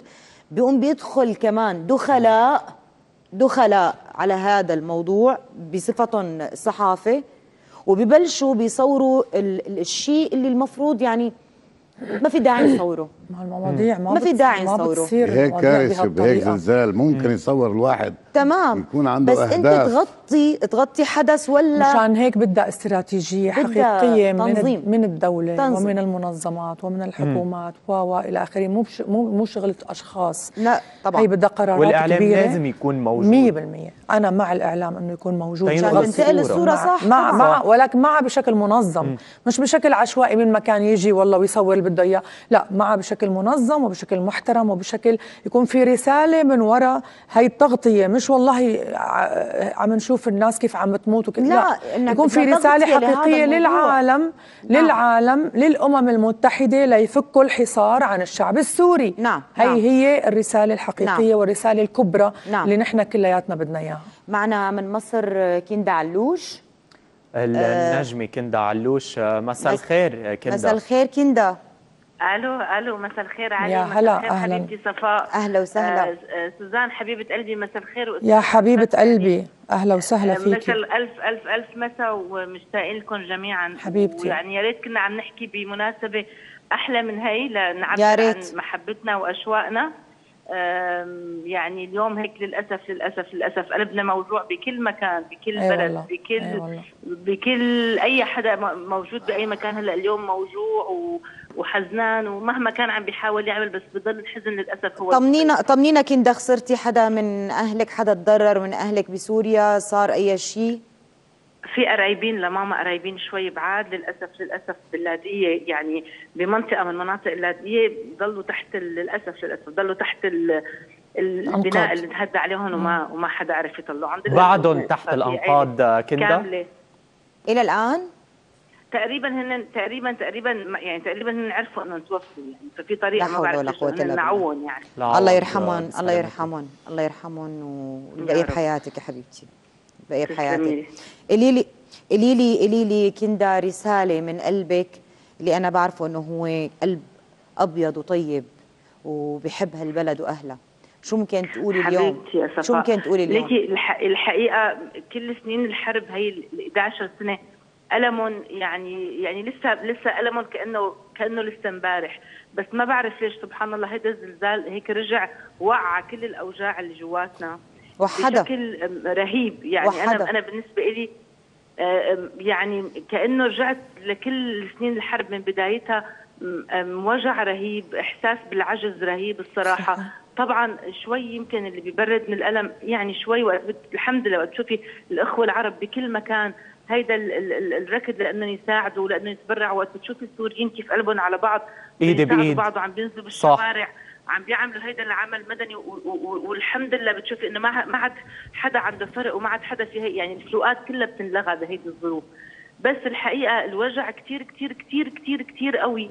وأنا بحس إنه كل حدا مات فيه شيء يعني اللي موجود واللي مو موجود واللي بعيد واللي واللي انهزت الأرض من تحته واللي ببلد ثانية. مات فيه شيء بهيدا للأسف سبحان الله بس هيدا الزلزال كان وقعه يعني مفجع على كل الناس وحد الوجع بكل على, على البشرية للأسف. كلها على فكرة صح. مو بس على سوريا تركيا كمان بدنا نترحم على أكيد أكيد، كل أكيد،. شكراً. مليان سوريين أساسا. بهذه شكرا لك. كندا على هالمداخلة شكرا كندوش شكرا كثير شكرا حبيبة قلبي حتى لو ما كانوا سوريين هن بشر وهن ناس صح. يتوفوا بزلزال تركيا كمان بنترحم عليهم. إيه طبعا. صفاء أنت ما لحقتي تطلعي من وجع رحيل الوالد وإجا الزلزال؟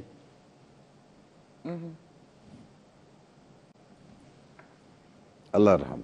الله يرحمه. الله يرحمه. آه أنا فعليا إيه ما أنا ما صار لي زمان ما صار لي 53 يوم تقريبا فاقد البابا عم عدهم باليوم. آه لما اجت ال- الهزة أنا بعرف شو يعني الواحد يفقد آه جزء من روحه. وأنا فقدت سندي فحاسه بالكسر. ف غير إنه موضوع كسر يعني صرت أقول يعني صرت شوف حالي يعني إنه اللي بشوف مصيبة غيره بتهون عليه مصيبته. إنه أنا أنا قدرت إني أنا يعني ندفن بابا إنه الحمد لله وفاة طبيعية وهيك. إيه. في ناس ما عم تعرف وين في ناس بلحظة هيك فقدت في ناس ما عم تعرف إذا أهلها عايشة ولا ميتة ما بتعرف اذا للحقيقة إنه في شيء هيك غصة بالقلب. أنا أنا أنا ما بدي أبكي لأنه لأنه لأنه اكتفيت بكاء اكتفيت بابا ما بيحب يشوفني ابدا ضعيفة. أنا لما قال لي اليوم إنه أنا أكون موجودة بهي الحلقة اللي حضرتكم موجودين فيها واللي فيها مشاركة كبيرة من شكرا علي وشكرا تلفزيون الجديد إني أنا اليوم اكون مقدمة لهي الحلقة. شيء بخص سوريا. أنا سوريا إلي إلي شرف إلي إلي إلي إلى فضل على رأسي من فوق. هي من صنعت صفاء سلطان. فأي شيء بينقال لي عنه لسوريا أنا بركض بدون أي تردد. فاليوم أنا وجعي صار وجع كتار كتار. أكيد أنا مالي أحسن منهم. فأنا حاسة بوجعهم. أنا عم حاول قدر المستطاع ما في ما في والله يقويهم. شوفي سبحان الله رب العالمين ما بيتركنا. رب العالمين بينزل الصبر والسكينة أكيد. نوعا ما يعني ما هي سنة الحياة بدنا نتقبلها؟ وبدنا نتعامل صعب. معها. بتعرفي صعب تقولي هو الفقدان صعب. فقد حدا راح لعند الأرحم لا لا بس هو صعبه صعبه كثير هو الفقدان صعب والشوق أصعب والحنين أصعب والاحتياج كمان أصعب وأصعب. الاشتياق هذا هو. لما تحتاجي الوقت كمان يعني صوت الأنين الموجود تحت الأنقاض عم يخف يوم عن يوم. فإذا بدي أطلب منك أستاذ عباس هيك تعبر لي بجملة سوريا تستغيث. كفيلي شو بتقول؟ لا سوريا مو تستغيث. أنا يعني ما فيني أقول لك يعني جملة ما فيني واحد يختصر هيك صح. مسألة بكلمة يعني. يعني هلا مثلا أنا حاولت إني أدخل على ال social media وعملت شيء اسمه هاشتاج بيساعدوني اولادي عليه. أنا ما كثير بفهم بالقصة ارفعوا العقوبات عن سوريا. إيه مو ارفعوا العقوبات. إما أن ترفعوا الحصار وإما أنتم مشاركون نعم. بدفن السوريين فعلا. أنا صحيح حقيقة. هي هيك. صح. صح. هي هيك. وبعدها عملت فيديو صغير هيك لأن عملت تصويت لرفع العقوبات ولاقى أكثر من خمسين ألف تصويت.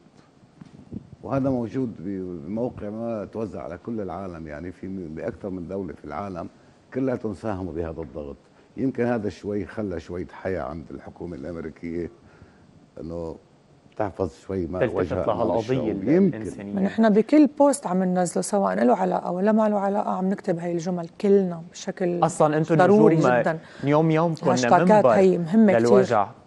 صح. مهمه توصل وحتى عم نشارك جو باي جو بايدن في ال في ال في الهاشتاج وفي يعني عم نحاول كلياتنا إنه أي شيء بخص أي post عم نكتب هاشتاج زلزال سوريا اوقفوا العقوبات بالإنجليزي والعربي لحتى هذا الضغط الجماهيري يوصل صوتنا. أنت بتتخيلي وبرجع بت... طبعا طبعا طبعا يعني طبعا صفاء رفعوا العقوبات ل 180 يوم, يوم. هيدي بادره بادره يمكن هيدي خطوة صغيرة ولكن في نحن حكينا من بدايه الحلقة إنه بنتمنى إنه إنه ولو إنه صعب في أكيد أمور سياسية خارجة عنا كلياتنا نحن ما لنا ولا ولا الحكومات العربية أصحاب قرار فيها لأنه في أشياء وشؤون سياسية ما بنقدر نتدخل فيها ولكن بنتمنى وبرجع عيد الأمنية اللي حكيتها بأول الحلقة إنه بنتمنى من أصحاب القرار العرب ورؤساء الدول العربية إنه يضموا صوتهم لصوتنا بشكل جدي جدا في تحقيق هي الأمنية لأنه الشعب السوري مات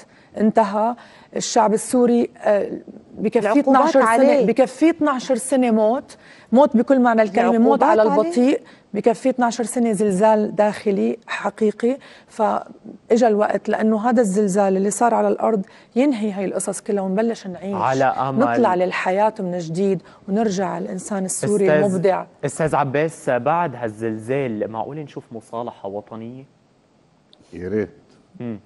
المسألة مطروحة على كل المستويات. بتشوف في هذا موضوع أنا ما ب... يعني هي كلمة مصالحة تبدو وكأنه لها علاقة بالوجدان والأخلاق. م. المسألة لها علاقة بالسياسات سياسات. ايجاد حياة سياسية.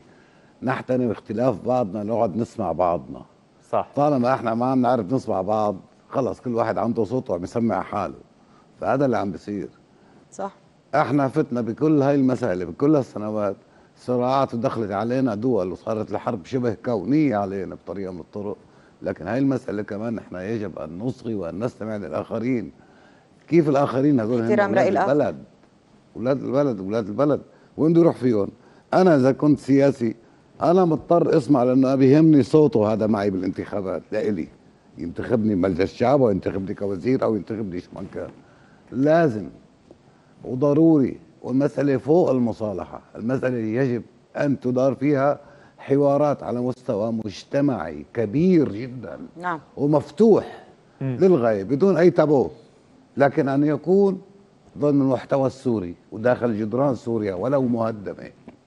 نعم. إن شاء الله نعم. بتتعمر جدران سوريا أستاذ عباس. شاء. يعني آه، مثل ما تضامنوا كتار من النجوم العرب كمان كان في صوت طالع من مصر. نجمة مصرية كبيرة حبت تقول اليوم آه، شيء وأكيد أنت بتعرفيها سوزان قد وسوريا إيه طول هي عمرهم محبة واحد. جدا لسوريا. النجمة العربية إلهام شاهين. أنا باسم الإنسانية أطالب برفع العقوبات عن سوريا رفع الحصار عن سوريا. كفاية تعذيب 12 سنة. أطفال بتموت كل يوم مش بس في الزلزال وخارج الزلزال. بتموت من البرد ومن الجوع ومن قلة التغذية ومن قلة المية.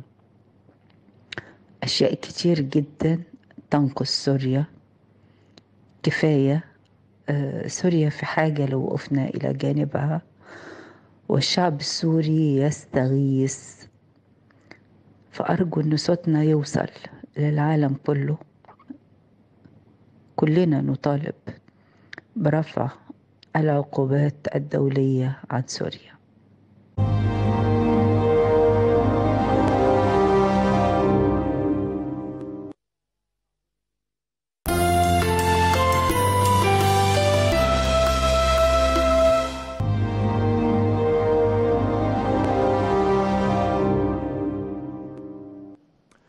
مساء الخير من جديد. آه، يعني عم يطلبوا مني بدايتي علي يكون متفاعل أكثر بس للأسف مع المشاهد يلي شفتها قبل ما أجي على الحلقة وخلال هالفترة كلها يعني الخمس أيام كلياتنا ما عم ننام ونحن عم نتابع. فما قادر يعني على قدر الإمكان عم بحاول أعطي بهالحلقة بس أنا الهدف إنه يوصل الصوت ويوصل صوتنا على قد ما بنقدر بهالحلقة الخاصة. من كتاب الشهرة بوجودكم أستاذ عباس النوري والنجمة سوزان نجم الدين. أستاذ عباس خطر ببالي شغلة ما بعرف لحضرتك ولا المدام سوزان. أنا حابة أقول آه، شغلة. لما الموت بيكون كتير قريب منا و... وما بنموت. يعني نطلع أحياء. كل حدا فينا بيكون في عنده مثل مقولة من جواته. لإله بتخصه.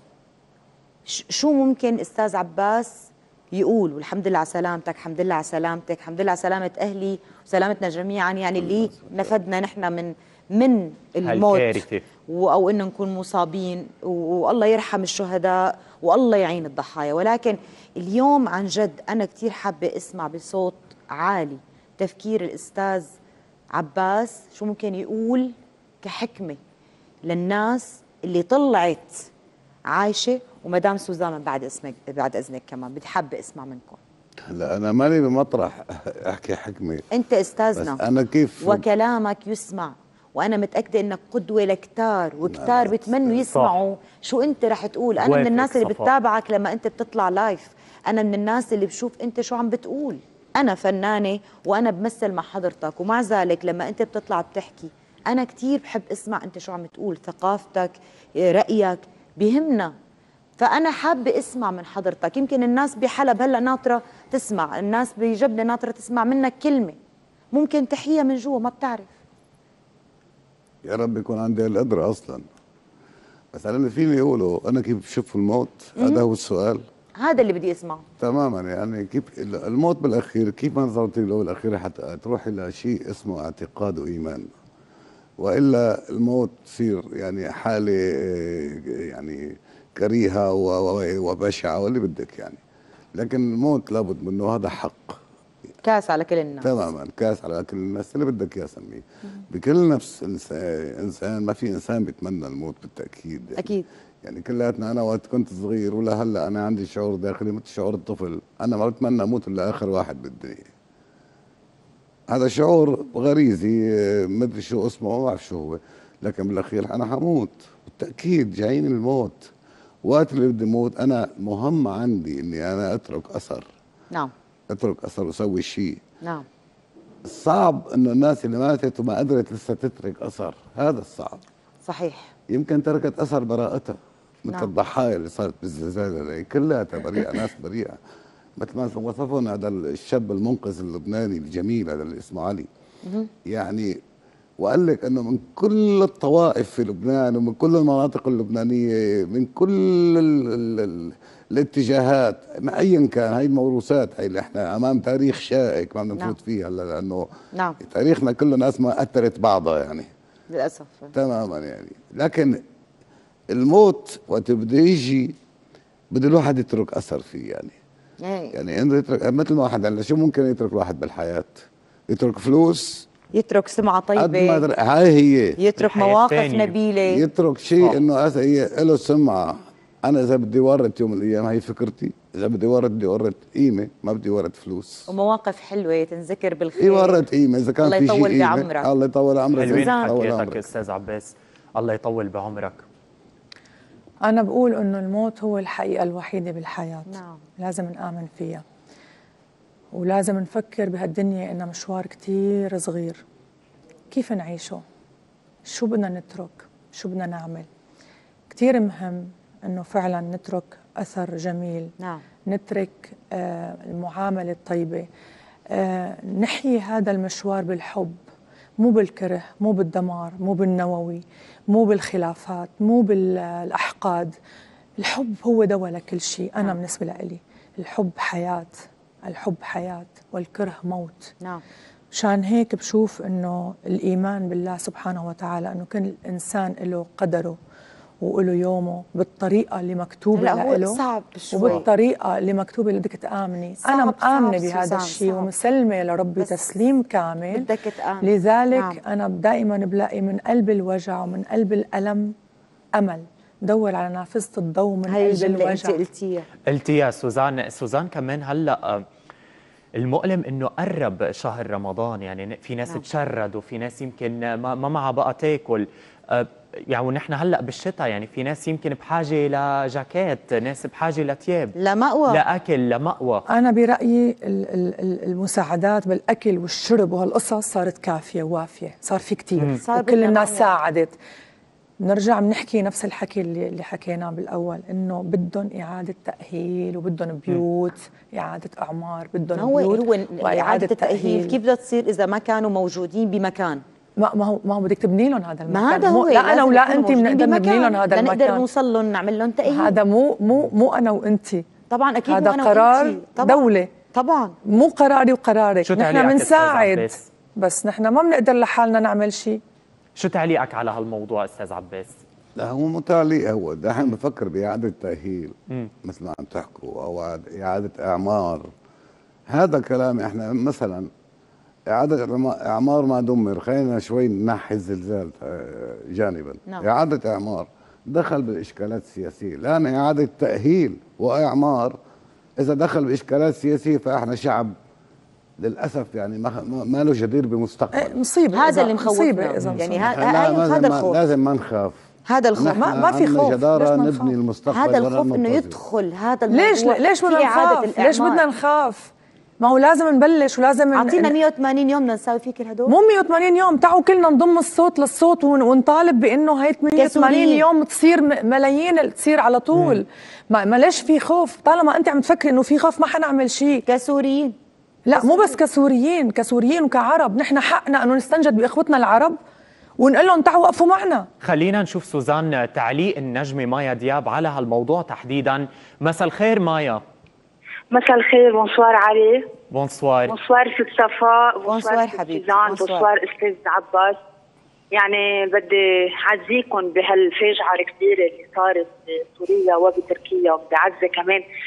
كل اللبنانيين لأنه بعتقد إنه عدد كثير كبير من الناس فقدت أحبة لها وأصدقاء ومعارف غير الوجع الإنساني اللي موجود فينا. ف أه بفهم بعرف اليوم إنه أنتم كل اللي عم تحكوه نابع من وجعكم كفنانين سوريين وكأشخاص سوريين. كشعب شعب أه سوري كشعب سوري. طبعا. فقدتوا أه شقفة من شعبكم ومن بلدكم ومن وهيدي الكارثة صعوبتها منا منا صغيرة. هيدي فاجعة يعني ما بيتخيلها عقل. آه، وهيدي يعني شو ما فكرت فيها اليوم الطبيعة عم آه، يمكن الطبيعة ما بقى هالقد قادره تتحمل شو عملنا نحن فيها يمكن لهالأرض. فعم بترد بهيدي الطريقة كمان. انت مايا ف... كمان كان عندك مبادرات إنسانية لافته يعني ألغيتي حفلك بدبي ألغيتيه بلبنان وكمان ضميتي صوتك لصوت الفنان راغب علامه آه، بالمساعدات الإنسانية. أنت مع إنه الفنان يلغي حفلاته بهالوقت؟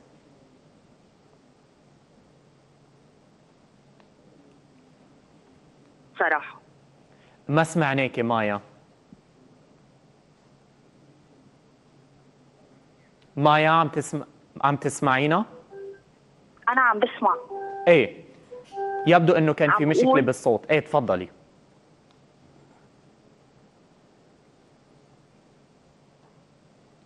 مايا؟ سامعيني؟ عم نسمعك وعم يروح الصوت. أوكي رح أقول رح أرجع أقول. عم بقول الفنانين اللي عم حفلات بهالوقت كيف لهم نفس عم بهيدا الوقت؟ امم هيدا وقت حزن. نحن بقلب الفاجعة. إيه إيه بس بنفس الوقت كمان حبيبتي مايا يعني بالنهاية هي هي مهنتنا. يعني هي تعتمد على باب رزقنا. ونحن فينا نعمل مواقف حلوة كثير مثل كثير فنانين قاموا بالتبرع بالارباح لحفلاتهم للناس المتضررة بالزلزال سواء بتركيا أو بسوريا. يعني هذا الموضوع هذا الموضوع كثير حلو إنه انعمل. ما فينا نلغي يعني يعني أنا يعني لو لو هلأ أنا كنت عم صور وتوفى والدي ممكن يتحملني المنتج يوم اثنين ثلاثة لأنه أنا عندي حالة عزاء. بس هو عنده شغله بده يمشيه. أكيد ما رح يتحملني. فأنا هون صار لازم أشتغل. اليوم أنت بالتمثيل والتصوير يبدو أنه في رأيين بهالموضوع. آه أنا عندي إيه. راي كمان بهذا الموضوع. نسمعه. يعني أنا بقول إنه اليوم حفلة ما بتنعمل. أنا اليوم واجبه كفنانه عم غني أقدم فرح للناس اللي واقفين بوجهي بمكان ما. يبدو أنه الارسال عاطل مايا آه مايا انت كنت عم وصلنا انه عم تقولي انه انت بدك تقدمي فرح للناس يلي عم يحضروكي وانقطش الخط. أكيد. وإنه ما فيها إيه. تفرح ما فيها تفرح هيك قصدها هي.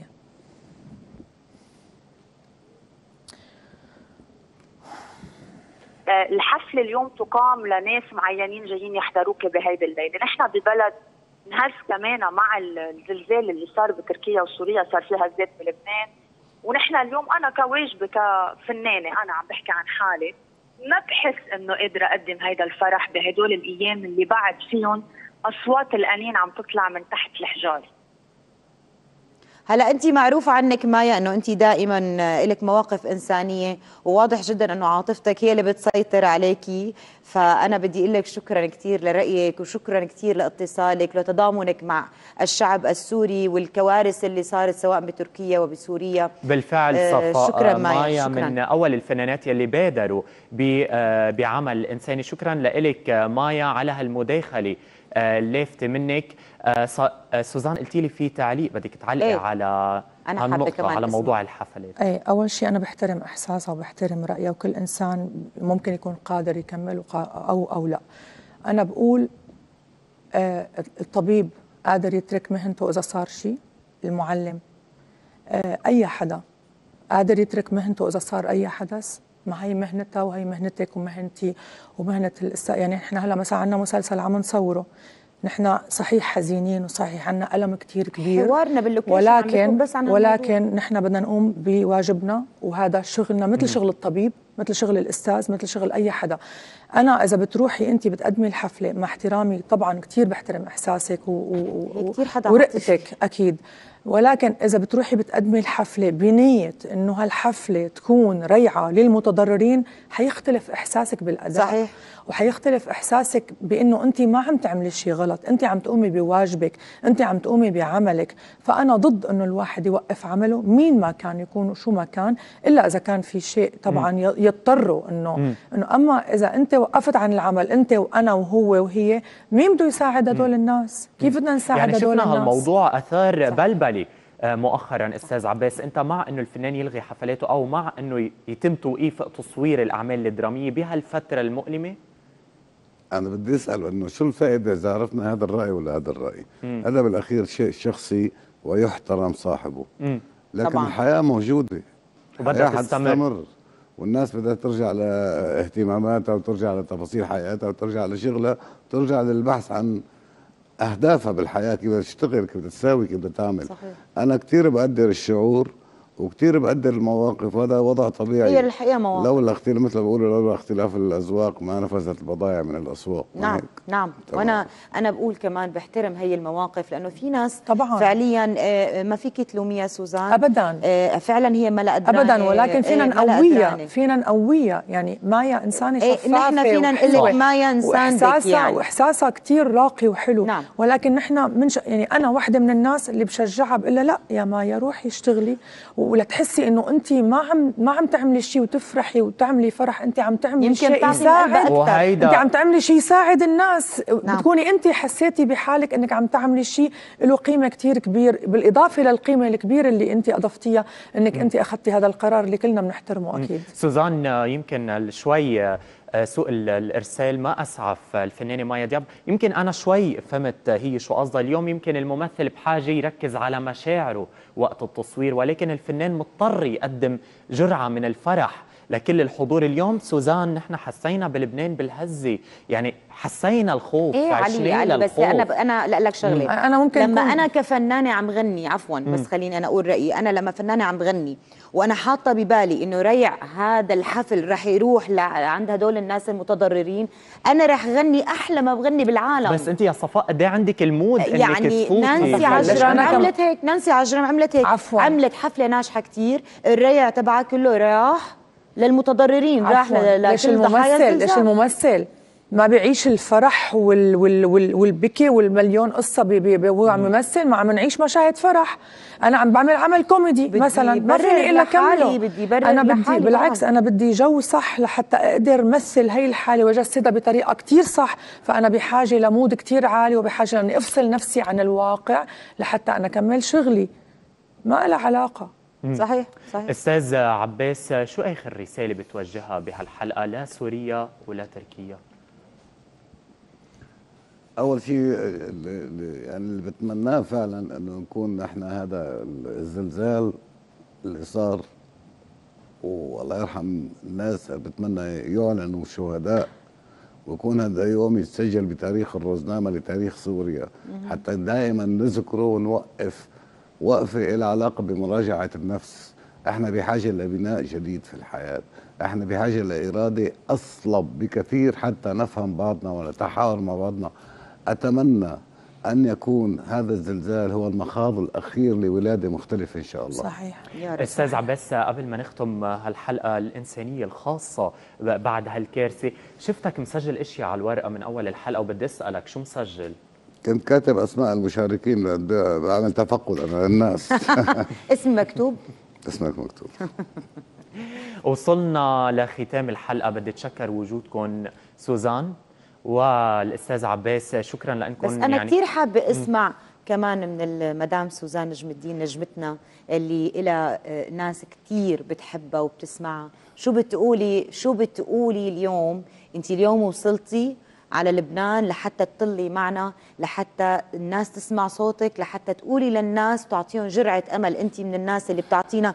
أنا شخصيا لما حبيبتي. توفى والدي أعطيتيني جرعة أمل. حبيبتي. فبتخيل أنك أنت وأثرتي فيني. فرح تأثر بكثير ناس بتحبك. فممكن تحكي لنا كلمة؟